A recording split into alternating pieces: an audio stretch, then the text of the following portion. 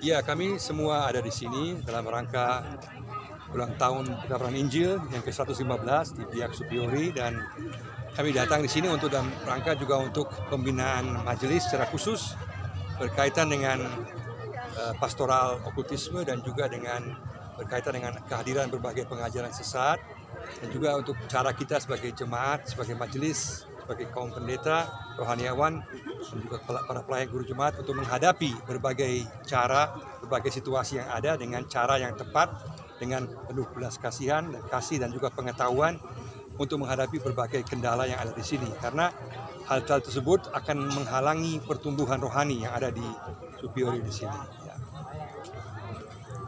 Ya. lain? Apresiasi Bapak melihat eh, jumlah animo yang mengikuti seminar sampai dengan hari ini di Selatan Utara seperti apa? Oke, baik.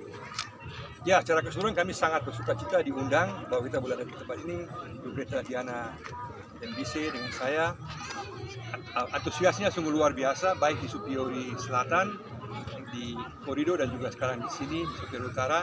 Kami sungguh-sungguh bersyukur bahwa eh, konsentrasinya luar biasa dan juga pertanyaan-pertanyaan yang muncul sungguh-sungguh muncul dari situasi yang ada dalam jemaat.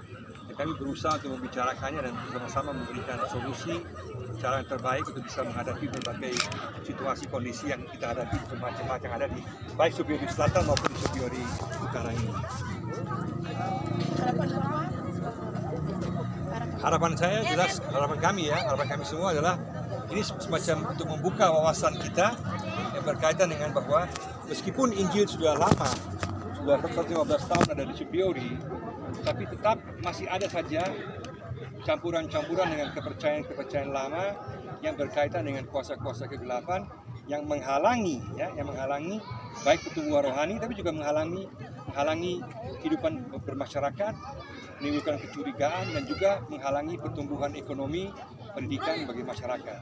Sehingga kami percaya bahwa kalau kita kembali menekankan kuasa Injil, maka dan juga kita sungguh-sungguh menghilangkan, meninggalkan semua praktek-praktek kuasa kegelapan, maka Subiori akan mengalami kemajuan secara bertahap karena ada kemajuan secara rohani dan juga kemajuan secara apa, semangat semangat kerja, semangat pendidikan dan itu juga semangat kebersamaan sehingga juga akan menghilangkan kecurigaan dan juga berbagai macam persoalan di tengah-tengah masyarakat dan kita di Supiori akan secara bertahap akan mengalami kemajuan karena pada akhirnya Injil yang menyatukan kita di Supiori Injil yang menjadi dasar kita. Sehingga kalau kita meninggalkan Injil dan kita kembali kepada praktek-praktek kuasa kegelapan, maka pada akhirnya kita akan rugi sendiri dan kita akan mengalami berbagai macam masalah. Terima kasih.